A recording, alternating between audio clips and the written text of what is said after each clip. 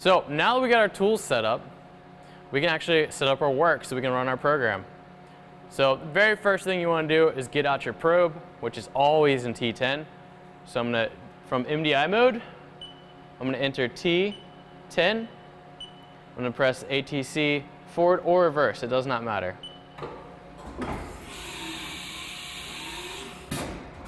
So here we are, T10. I'm to pull out the probe so we can look at it. So here's our, our probe. It's a Renishaw probe. It's a wireless unit. It communicates with the unit back on the wall. And you'll notice it has this stylus here. And this can actually move a little bit. So if you are moving really low speed into some part and it, you kind of crash into it a little bit, it's not going to be a big deal. If you're coming full blast at something, you, you hit it, it will snap right off. So be careful about that. So I'm going to put this back in. When you're inserting a tool, especially the probe back in the machine, you want to make sure you put it in the same way you got it out. They are supposed to be symmetrical, but it's always good to be safe. So before we actually probe out our block, just a quick review of jogging. So you can jog from the hand jog mode or from the IPS, but let's do a little hand jog here. So I'm going to go into hand jog mode. Remember, these keys select your jog rate. So I'm going to go to the quickest here. And select your axis you would like to jog over here. I'm going to do Y. And you can jog it using the jog handle. So I'm going negative X right now. Or you can jog by holding down the, the axis you would like to jog. So I'm going to do Y, just hold that down, a little X, a little bit of Z. So whenever you're jogging your Z, I recommend use a slower jog rate. So maybe 10 thousandths per click. It's probably a good one to use. You got a lot of control there. So make sure you understand the jogging before you actually go to probe something because you will need to position the probe to where it needs to be. All right, so to access our probing system, you need to hit MDI, then go to Program Conversational, and that will bring you to this screen. So currently we're in the Tool Setup tab. We don't want that, so I'm going to cancel out of that. I'm going to scroll over to the Work tab, hit Enter. Now we're in the Work Offsets tab. So now that I'm here, the very first thing you want to do is use the cursor up or down to select the work offset you would like to use. So we got 54 through 59, as well as some extra ones for the Haas. So I want to do 54 right now, so I'll just leave it there. So now you've selected your work offset, press F2 to access the probing menu.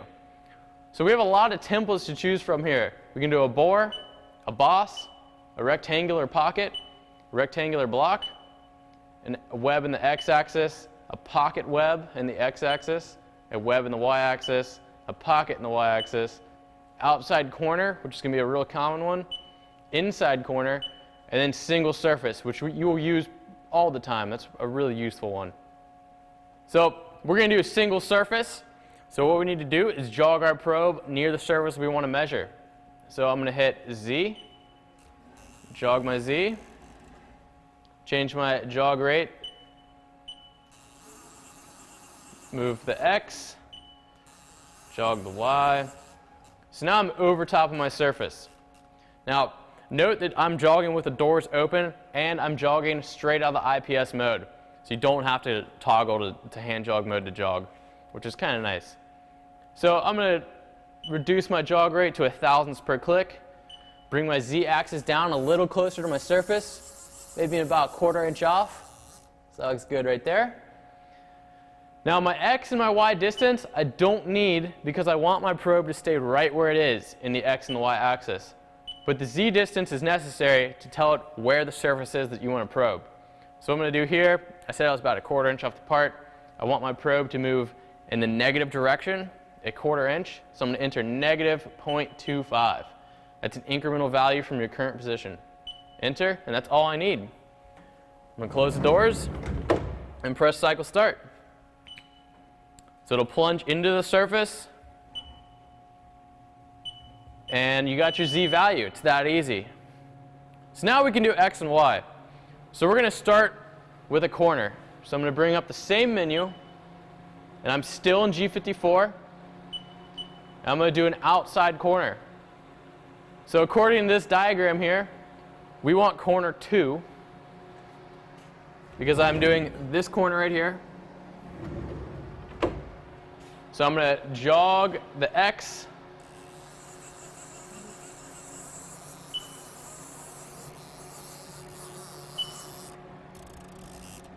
All right.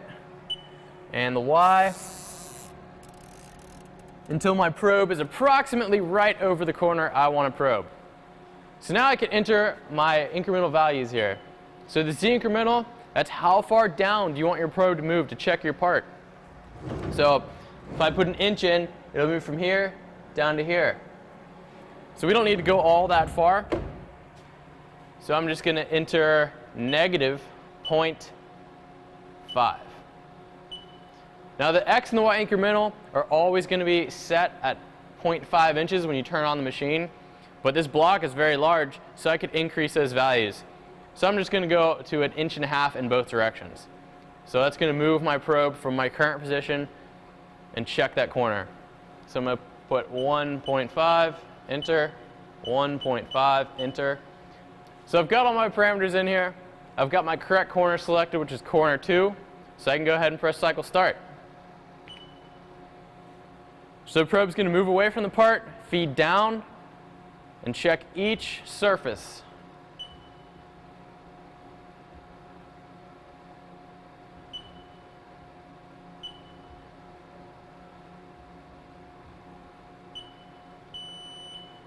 So now my probe's right over my part, so I'm just going to send it home. So to do that, I'm going to hit Z, press 0 RET, and then press home and that'll send just the z-axis to its home position.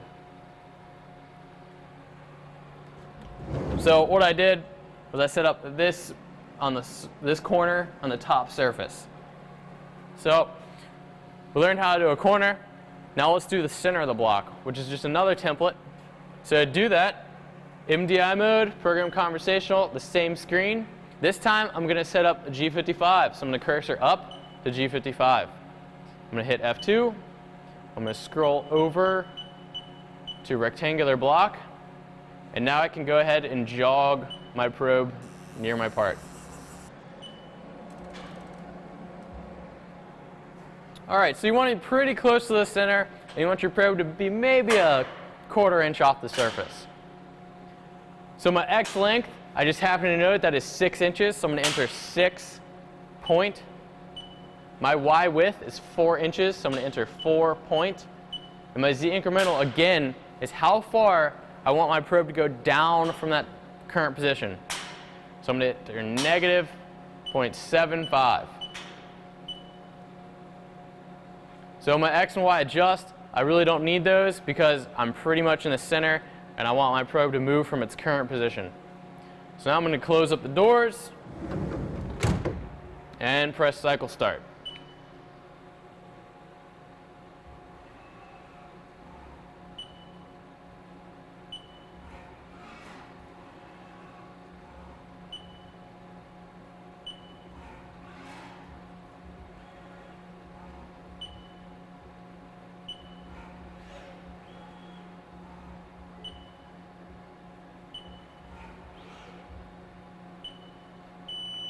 All right, so you can see the probe at the very end of that position to the actual true center of that block. So I was off by a little bit.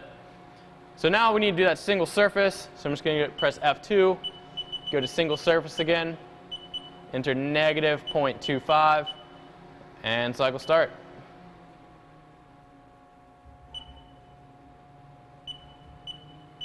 And there I go. So it really is that quick and easy to set up work offsets on this machine. So let's do one more, and this time we're actually going to do a cylindrical stock. So we're going to use this. I'm just going to switch it out, and we'll see what that looks like. All right, so I got my cylindrical stock all chucked up in there. So now I'm going to go to MDI mode, program conversational.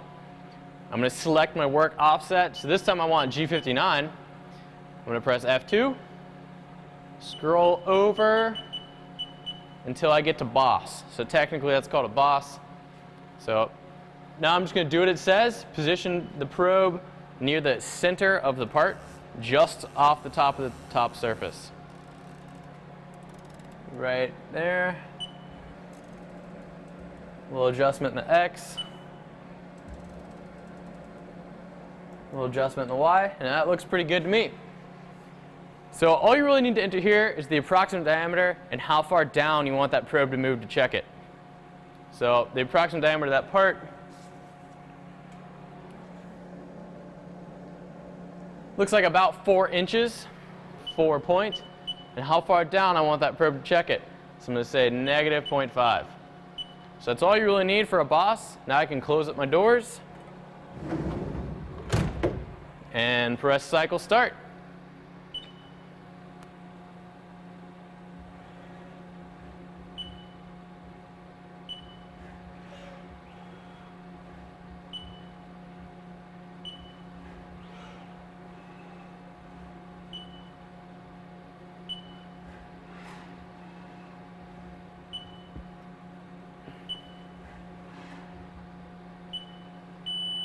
All right, so there we go. Just thought I'd point out here that the process for a bore or a cylindrical hole is pretty much the same thing. Approximate diameter, you don't need a Z incremental because you just jog the, the uh, probe to where it needs to be and it'll, it won't change in the Z axis at all. So I'm just going to send the uh, Z axis home. So Z, 0, home. There we go. So sometimes you don't want to actually use the probing system. You might want to just find a point so say I want to probe this X right here. That's going to be pretty hard to do with using the probe. So what I can do is actually just place a tool where I want to go and set that as my zero. So to do that, I'm going to close the doors and change to a pointed tool. So a center drill works great for that, which is T5. So I'm going to enter T5, MDI, automatic tool change.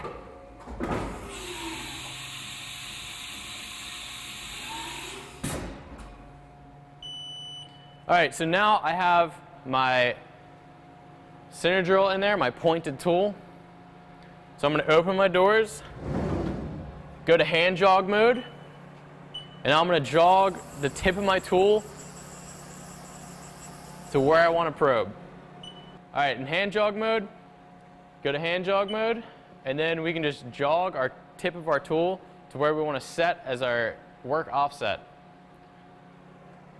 So I'm going to jog my Z.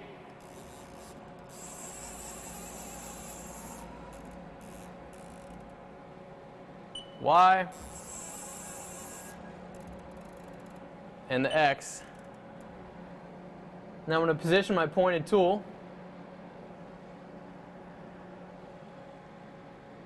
Lower my jog rate.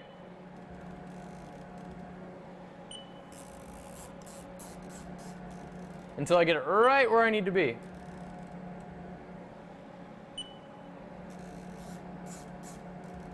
So that looks about the center of that X.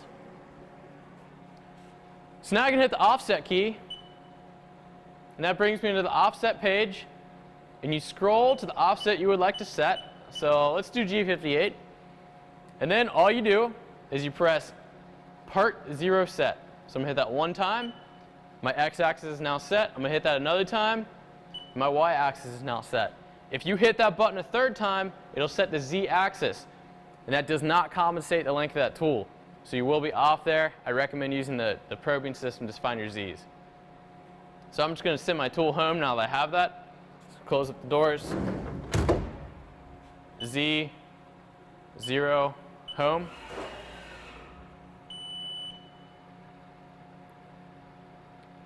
All right, so